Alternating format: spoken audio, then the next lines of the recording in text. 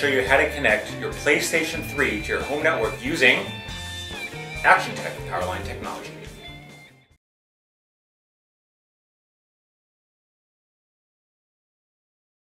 Insert an Ethernet cable into the port on the bottom of the first adapter. Plug the adapter into a nearby electrical outlet. Plug the other end of the Ethernet cable into an available Ethernet port on the back of your router.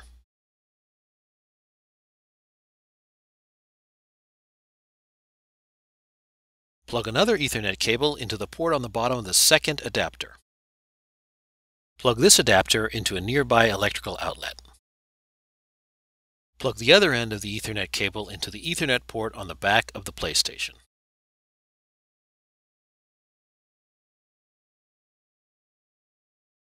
From the PlayStation's main screen, select Network Settings. Then select Internet Connection Settings.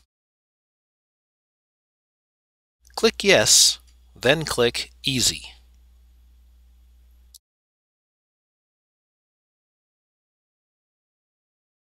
When detected, the Internet Connection Settings screen reappears.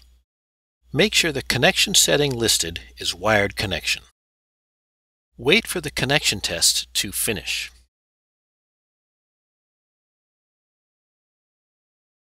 The PlayStation will make the connection.